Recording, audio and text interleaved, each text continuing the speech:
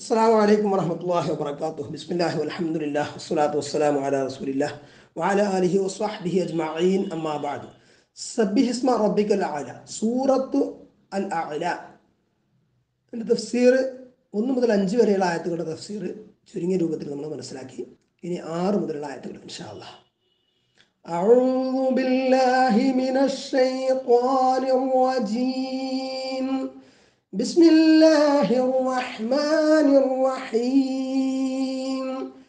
سنقرئك فلا تنسى إلا ما شاء الله. إنه يعلم الجهر وما يخفى. ونيسرك لليسرى. فذكر إن نفعت الذكرى. سيذكر من يخشى ويتجنبها الأشقى الذي يصلى النار الكبرى ثم لا يموت فيها ولا يحيا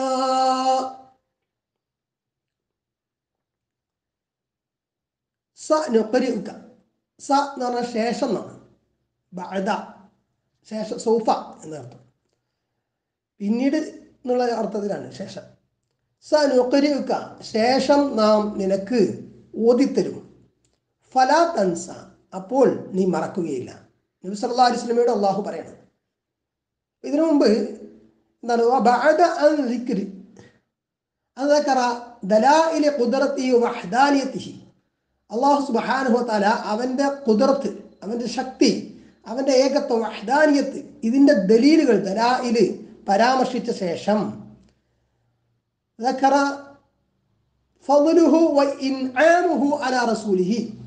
അവന്റെ ഫതിൽ ഔദാര്യവും അവന്റെ ഇൻആം അനുഗ്രഹം ചെറിയലും അല റസൂലിഹി. അള്ളാഹു അവന്റെ റസൂലിന്റെ മേൽ അത് ദക്കറ പരാമർശിക്കുകയാണ്.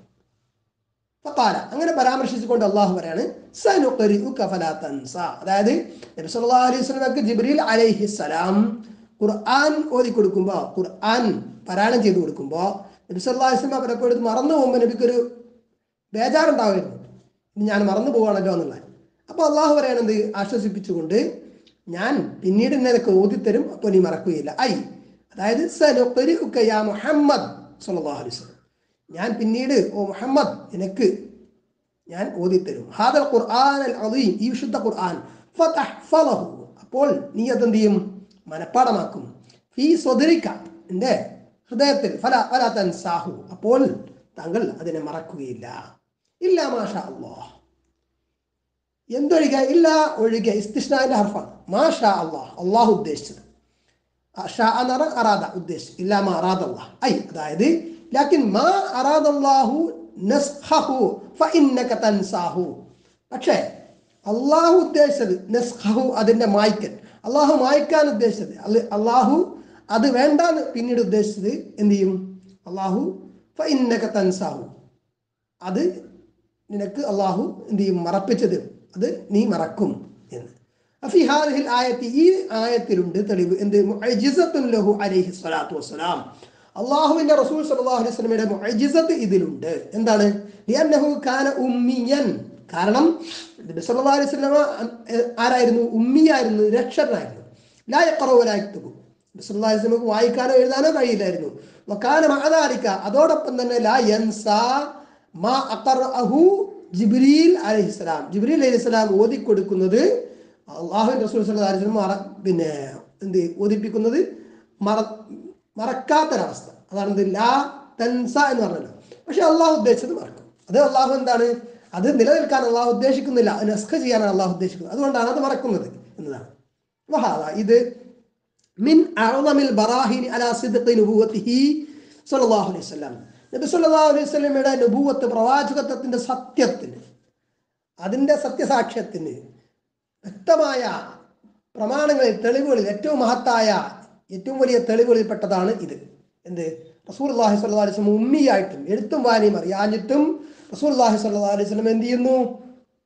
ഖുർആൻ ജിബ്രീൽ അലൈഹി സ്വലാം ഓതി കൊടുക്കുന്നത് മറക്കുന്നില്ല എന്നത്.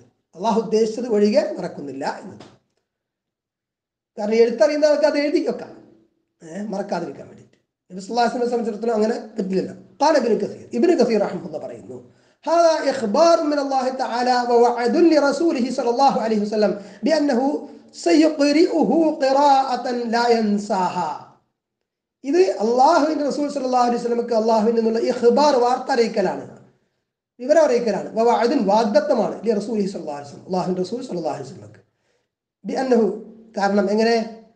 സയ്യുഖ്രിഉഹു അള്ളാഹു അവൻ അവൻ നബിക്ക് ഓതിക്കൊടുക്കുമെന്ന്. അതായത് ജിബ്രീൽ മുഖേന ഓതിക്കൊടുക്കുമെന്ന് ഖുറാഅത്തല്ല ഇൻസാ അങ്ങനെ മറക്കാത്ത വിധത്തിൽ.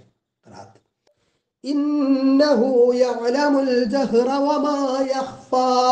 ഇന്നഹു നിശ്ചയം അവൻ അതായത് അള്ളാഹു അവൻ അറിയുന്നു അൽ ജഹ്റ പരസ്യമായത്. വെളിവായത് പരസ്യമായത് എല്ലാം അവൻ അറിയുന്നു വമാ യഖ്ഫ ഒളിഞ്ഞു കിടക്കുന്നതും മറഞ്ഞു കിടക്കുന്നതും മറന്നു കിടക്കുന്നതും എല്ലാ തരത്തിലുള്ളതും അള്ളാഹു അറിയും. ഐ അതായത് ഹുവ താര അവൻ അള്ളാഹു താര അവൻ ഏറ്റവും ഉന്നതനാണ്. അവൻ ആലിമുൻ. അവൻ അറിയുന്നവനാണ്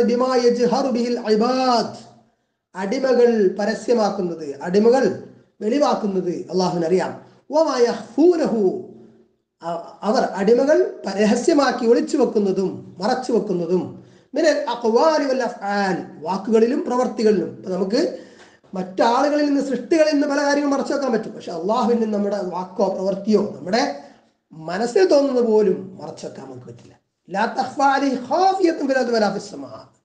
ആകാശത്തിലോ ഭൂമിയിലോ ഉള്ള ഒന്നും മറച്ചു വെക്കുന്ന ഒന്നിനും മറച്ചു വെക്കാൻ കഴിയില്ല അള്ളാഹുവിൽ നിന്നൊന്നും മറച്ചു വെക്കാൻ കഴിയില്ല. യസ്സറ യുസ്റ എളുപ്പം. യസ്സറ എളുപ്പമാക്കി. നുയസ്സിറു നാം എളുപ്പമാക്കും കാ താങ്കൾക്ക്. അങ്ങേക്ക് നിനക്ക് നാം എളുപ്പമാക്കും. അൽ ലിൽ യുസറ എളുപ്പത്തിന് അതായത് നിനക്ക് ഞാൻ തൗഫീഖ് തരും. എന്ത്?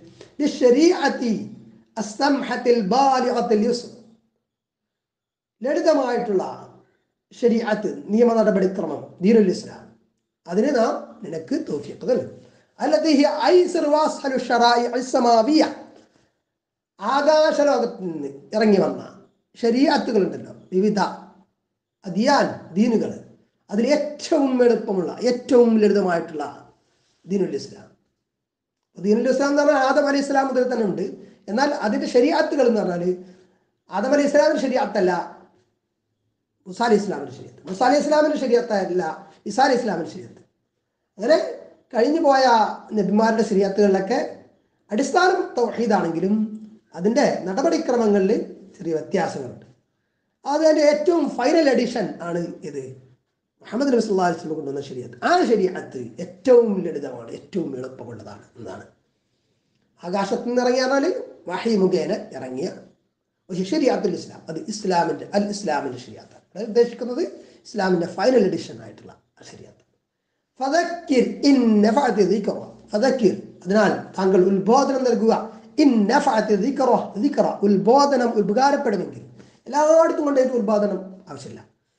ചില സ്ഥലങ്ങളിൽ അല്ലെങ്കിൽ ചില സാഹചര്യങ്ങളിൽ ചില വ്യക്തികളിൽ ചിലതരം ഉത്ബോധനങ്ങൾ ഒരു ഫലവും ചെയ്യില്ല.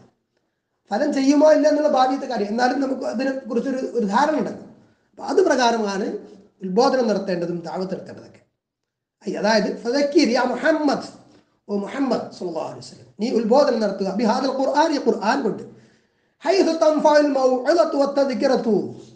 തദ്കിറത്ത് ഉത്ബോധനവും ഉപദേശവും മൗഇദത്ത് ഉപദേശം തദ്കിറത്ത് ഉത്ബോധനം അത് ഉപകാരപ്പെടുന്ന വിധത്തിൽ എന്ത് ചെയ്യുക ഖുർആനെ ഉത്ബോധനം നടത്തുക. ഖുർആൻ കൊണ്ട് ഉത്ബോധനം നടത്തുക. കൗലി അള്ളാഹുവിന്റെ വചനം പോലെ فذكر بالقرآن من يخاف وعيد അള്ളാഹുവിന്റെ വാഗ്ദത്തത്തെ ഭയപ്പെടുന്നവരെ എന്ത് ചെയ്യുക ഖുർആൻ കൊണ്ട് ഉത്ബോധനം നടത്തുക സൂറത്ത് ഖാഫിൽ നാൽപ്പത്തഞ്ചാമത്തെ ആയത്ത് قال ابن كثير ابن كثير رحمه الله പറയുന്നു ومن ها هنا يؤخذ الادب في نشر العلم علم പ്രചരിപ്പിക്കുന്ന വിഷയത്തിൽ ഇൽമ പ്രചരിപ്പിക്കുന്ന വിഷയത്തിൽ ഉള്ള അദബ് ഈ ആയത്തിൽ നിന്ന് നമുക്ക് മനസ്സിലാക്കാം എടുക്കപ്പെടും ഇൽമിന്റെ അതിലല്ലാത്ത അർഹത അല്ലാത്ത ആളുടെ അടുത്ത് അത് വെക്കരുത്.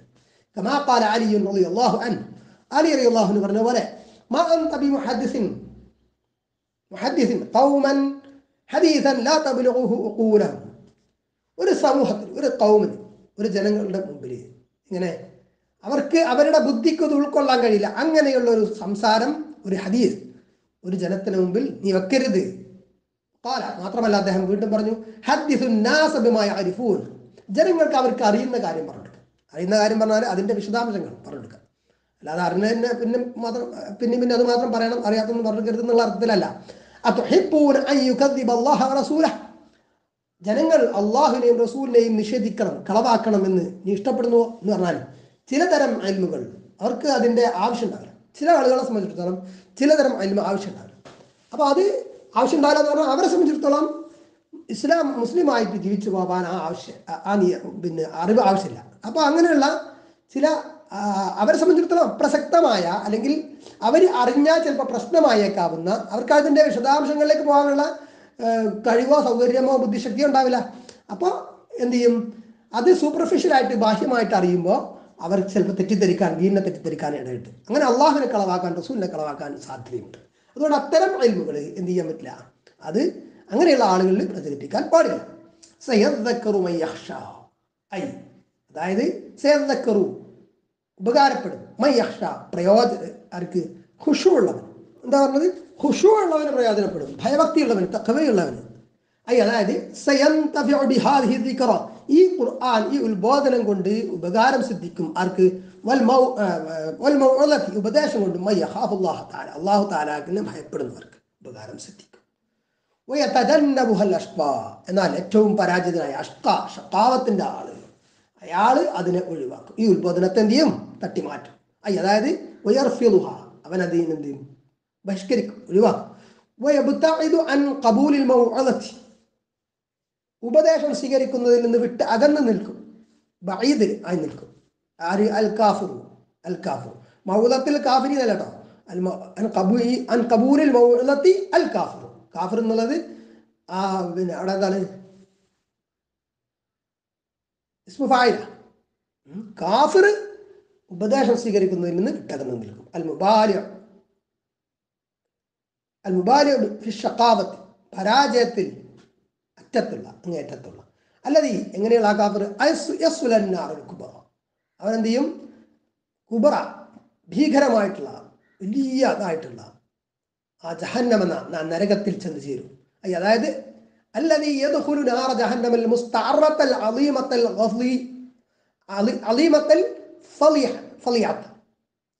അതായത് കത്തിജ്വലിക്കുന്ന കത്തിജ്വലിക്കുന്ന ഭീകരമായിട്ടുള്ള മുസ്താറത്ത് കത്തിജ്വലിക്കുന്ന ഫലിയാത്ത് ആയിട്ടുള്ള അലീമത്ത് ഭീകരമായിട്ടുള്ള ആ നരകത്തിൽ ചെന്ന് ചേരും. ഹാൽ ഹസൻ ഹസൻ എന്നവർ പറഞ്ഞിരിക്കുന്നു അന്നാറുൽ കുബ്ര നാറുൽ കുബ്ര എന്ന് പറഞ്ഞാൽ നാറുൽ ആഹ്റയാണ് നരക പരലോകത്തെ നരകമാണ്. തീയാണെന്ന് നാറുൽ കുബ്ര എന്ന് പറയുന്നത്. വസ്സുഖറ നാറുൽ സുഹറ എന്ന് പറയുന്നത് അത് നാറുൽ ദുനിയ ദുനിയാവിലെ തീയാണ്. സുമ്മ പിന്നെ ആ നരകത്തെ ചെന്ന് ചേർന്ന സുമ്മ യഹ്യ. സുമ്മ പിന്നെ ലാ യമൂത്തു ഫിഹ ആ നരകത്തിൽ അവൻ എന്ത് ചെയ്യില്ല? മരിക്കുകയില്ല. അവനായ ജീവിക്കുകയില്ല. വേറെ മരണമല്ല ജീവിതം. മരിച്ച് അ- എന്ത് ചെയ്യാ അവന്റെ തൊലികൾ കരിഞ്ഞ് പുതിയ തൊലികൾ ഇങ്ങനെ ഉണ്ടാകണം. വീണ്ടും വേദന അറിയാൻ. ഐ ലാ യമൂത്തു അവിടെ മരിക്കുകയില്ല. അപ്പൊ സ്തരിഹ എന്നിട്ട് അവനങ്ങനെ എന്ത് ചെയ്യാം ഒരു റെസ്റ്റ് കിട്ടുക. ശ്രമം കിട്ടുക എന്നുള്ളൊരവസ്ഥയല്ല മരണത്തോടു കൂടി തീരുക എന്നുള്ള അങ്ങനെ അവിടെ മരിച്ചാൽ തീരൂല. കത്തിക്കാരൻ ഞങ്ങൾ തീരില്ല വല യഹ്യാൽ ഹയാത്ത് തൊയ്യബത്തുൽ കരീമ. മാന്യമായിട്ടുള്ള നല്ലൊരു ജീവിതം അവിടെ ജീവിക്കാനും പറ്റില്ല. എന്നാൽ ജീവിക്കുന്നുണ്ടോ? ജീവിക്കുന്നുണ്ട്. ആ നരകത്തിൽ അവൻ ശിക്ഷയിലും പരാജയത്തിലും എന്താണ്? ദായിമാണ് അവിടെ നിത്യവാസിയാണ് അവൻ. ഖാലിദാണ്. അള്ളാഹു കാത്തിരക്ഷിക്കട്ടെ. അസ്സലാമു വലൈക്കും വാഹമത്തുള്ള സാധാരണക്കാർക്ക് കിതാബുകൾ ഓതി പഠിക്കാൻ അൽ കിതാബ് വാട്സ്ആപ്പ് ഗ്രൂപ്പിൽ അവസരം. ഇപ്പോൾ നടക്കുന്ന സബത്ത് സൂറത്തു നൂറിന്റെയും അൽ ആഴ മുതൽ അന്നാസ് വരെയുള്ള സൂറത്തുകളുടെയും തഫ്സീർ ഇബ്നു കസീർ അടിസ്ഥാനമാക്കിയുള്ള ക്ലാസുകളാണ്. സ്ത്രീകൾക്ക് പ്രത്യേകമായി അൽ കിതാബ് ലേഡീസ് വിങ്ങും കുട്ടികൾക്ക് അൽ കിതാബ് മദ്രസ ഗ്രൂപ്പും നിലവിലുണ്ട്. അൽ കിതാബ് ഗ്രൂപ്പിൽ ചേരുന്നവർക്ക് അൽ കിതാബ് ചോദ്യോത്തര ഗ്രൂപ്പിലും അവസരം. അൽ ഗ്രൂപ്പിൽ ചേരാൻ എൺപത്തി എട്ട് നാൽപ്പത്തി എട്ട് എഴുപത്തി എട്ട് എഴുപത്തി ഏഴ് പൂജ്യം ആറ് എന്ന നമ്പറിലേക്ക് സന്ദേശം അയക്കുക. ഏത് ഗ്രൂപ്പിലേക്കെന്ന് പ്രത്യേകം അറിയിക്കുമല്ലോ. വീഡിയോ ഇഷ്ടപ്പെട്ടാൽ ദയവായി ലൈക്ക് ചെയ്യുക ഷെയർ ചെയ്യുക ചാനൽ സബ്സ്ക്രൈബ് ചെയ്യുക ബെൽ ബട്ടൺ അമർത്തുക. അസ്സലാമു അലൈക്കും വറഹ്മത്തുള്ളാഹി വബർക്കാത്തുഹു